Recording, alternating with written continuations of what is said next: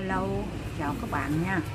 Bữa nay là tôi ờ, tiếp tục ờ, tôi đọc ờ, truyền thần thoại cho các bạn nghe nha. À, Bây giờ tôi đọc cái chuyến du hành thứ nhất của Sinbad à, Đây là cái truyền thần thoại ừ, Chuyện ngàn lẻ một đêm à, Chuyện dân gian à, Bây giờ tôi bắt đầu luôn nha các bạn. À, Cái sinh Sinbad này là nó cũng dài lắm Chia thành nhiều phần à, cho các bạn nghe nhé. Đây là cái phần đầu tiên là chuyến du hành thứ nhất. Xong đó à, kế tiếp cái clip nữa là sẽ chuyến du hành thứ hai là cái video thứ hai. À, các bạn mà thấy hay các bạn nhớ like và đăng ký ủng hộ xe ủng hộ nha. À, tôi bắt đầu đọc. Tôi đã thừa hưởng của gia đình một số tài sản kết xù và tôi đã phung phí quá nhiều trong những cuộc ăn chơi trác tán của tuổi thanh niên. Nhưng tôi đã tỉnh ngộ từ giả cuộc sống u mê đó. Tôi đã sống qua cuộc sống vô độ một thời gian. Thời gian có thể gọi là quý giá nhất của đời người. Tôi còn thấy rằng tuổi trẻ mà không lo thì đến khi già sẽ rất khổ. Nghĩ thế, tôi gom hết tài sản lại, Đem đồ đạc đến chợ bán đấu giá. Xong, tôi đến Bansora. Cùng với nhiều thương gia khác, Chúng tôi lên một chiếc tàu và cùng trả cước phí. Chúng tôi căng buồm ra khơi, khởi hành từ vịnh Ba Tư đến vùng Đông Ấn. Bên phải vịnh là bờ biển Ả Rập hạnh phúc, Bên trái là bờ biển Ba Tư ra khỏi vịnh, biển mặt trời mọc rộng thanh thang. Một bên là dãy bờ biển của xứ Abyssinia chạy dài đến tận quần đảo Bắc Bắc. Thoạt tiên tôi bị say sóng thật dữ. Nhưng sau đó tôi quên đi cảm thấy bình thường và từ đó về sau, tôi không bao giờ bị say sóng nữa trong chuyến đi này, chúng tôi ghé vào nhiều hòn đảo để buôn bán hay đổi chác hàng hóa. Một hôm, tàu đang chạy êm ả trên biển, bỗng chúng tôi gặp một hòn đảo nhỏ trông tươi tốt xinh đẹp như một cánh đồng nhỏ. Ông thuyền trưởng ra lệnh cuốn buồm cho phép mọi người lên bờ nhưng khi chúng tôi sắp ăn uống, giải lao cho bớt mệt vì say sóng, thì bỗng nhiên hòn đảo rung rinh, rồi lắc lư thật mạnh. Người trên tàu thấy hòn đảo rung rinh, họ bèn la lớn gọi tất cả về tàu ngay. Họ báo cho chúng tôi biết hòn đảo này chính là cải lưng một con cá voi những người nhanh chân liền nhảy lên xuồng con, người khác thì nhảy xuống nước để bơi.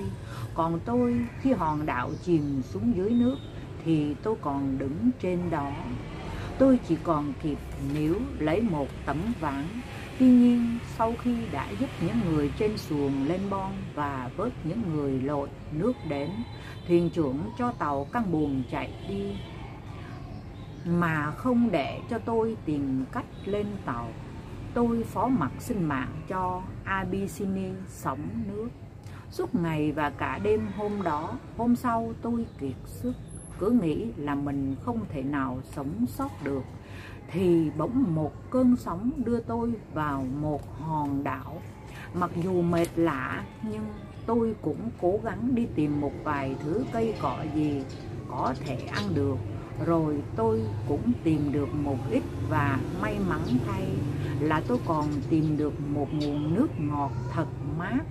Tôi lấy lại sức bèn đi sâu vào trong đảo, đến một vùng bình nguyên đẹp đẽ. Ở đây tôi thấy từ xa một con ngựa đi qua. Tôi vội đi nhanh đến đó, lòng vừa lo sợ vừa mừng rỡ. Vì không biết mình lại sẽ gặp chuyện rủi ro hay may mắn đây. Đến gần tôi thấy một con ngựa cái được buộc vào cọc con ngựa trông thật đẹp, khiến tôi cứ đứng ngây người ra nhìn. Và trong lúc nhìn, tôi bỗng nghe có tiếng người hỏi tôi là ai. Tôi kể chuyện của mình cho người ấy nghe. Ngay xong, ông ta nắm tay tôi, dẫn vào trong một cái động có nhiều người đang ngồi. Họ mời tôi dùng bữa ăn xong. Tôi bèn hỏi họ, đến đây làm gì trên một hoang đạo như thế này? Họ cho biết cứ mỗi năm họ lại đem ngựa cái của vua ra đây, Buộc nó vào cọc như tôi vừa thấy, Để cho ngựa từ dưới biển lên phụ nó. Họ cho biết ngựa biển sau khi đã phụ ngựa cái xong, Nó sẽ xé xác ngựa cái ra nhưng khi ấy, những người chăn ngựa sẽ la lên để ngăn con ngựa biển lại. Chúng phải trở về biển. Ngựa con sinh ra sẽ được đem dâng cho vua và được gọi là ngựa biển. Họ còn cho biết thêm ngày mai họ đã đi rồi. Và nếu tôi đến sau một ngày thì chắc tôi phải chết dí trên hòn đảo này vì khó ai có thể đến được đất liền nếu không có người hướng dẫn. Trong lúc tôi đang nói chuyện với nhau thì con ngựa từ dưới biển đi lên. Nó nhảy lên phụ lấy con ngựa cái, rồi sau đó định xé xác con ngựa cái ra. Nhưng đám người chăn ngựa đã la lên, khiến con ngựa biển phải buông con ngựa cái ra và lặn xuống biển ngày hôm sau, họ lên đường về lại thủ đô cùng con ngựa cái. Và tôi đi theo họ đến nơi tôi ra mắt vua Mira. Nhà vua hỏi tôi là ai và đến quốc gia của ngài để làm gì. Khi đã nghe hết chuyện phiêu lưu của tôi, ngài tỏ ra chua xót cho số phận thẩm hưu của tôi.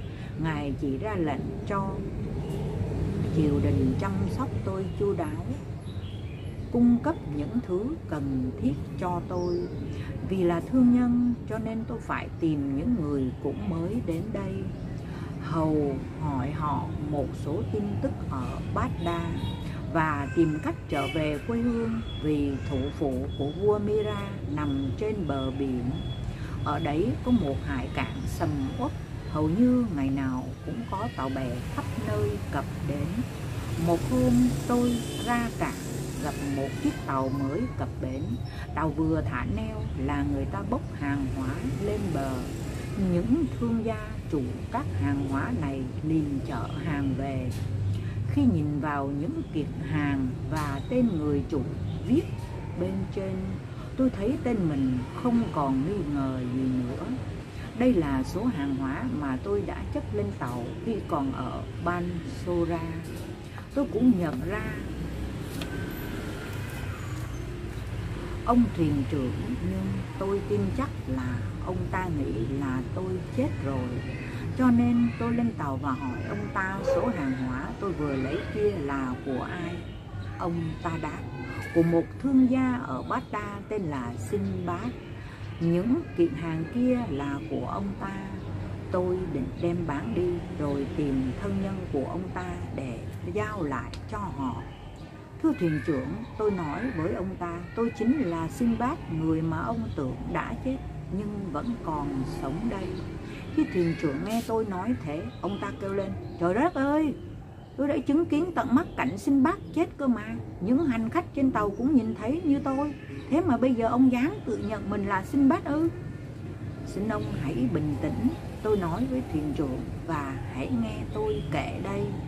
Được rồi, ông nói đi, tôi nghe ông đây tôi kể cho ông nghe, tôi được cứu sống như thế nào và tôi đã gặp những người chăn ngựa của vua Mira, rồi họ dẫn tôi đến triều đình của nhà vua ra sao? Nghe tôi nói, ông ta có vẻ dao động rất mạnh, nhưng rồi ông cũng nhận ra tôi. Ông nói, thật nhờ ơn thượng đế, ông mới thoát được nạn như thế. Vậy thì hàng hóa của ông đây, ông cứ lấy đi. Tôi cảm ơn ông ta và biếu một vài món hàng nhưng ông từ chối. Tôi chọn một vài thứ quý báu đem tặng vua Mira, ngài nhận rồi tặng lại tôi nhiều thứ còn quý hơn thế nữa. Xong công việc tôi từ giả nhà vua và lên chiếc tàu cũ mà mình đã đi.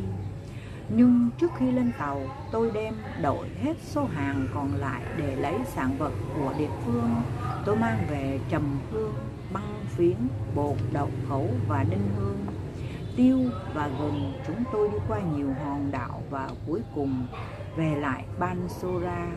Tôi vào thành phố với số hàng trị giá gần 100.000 quan tiền.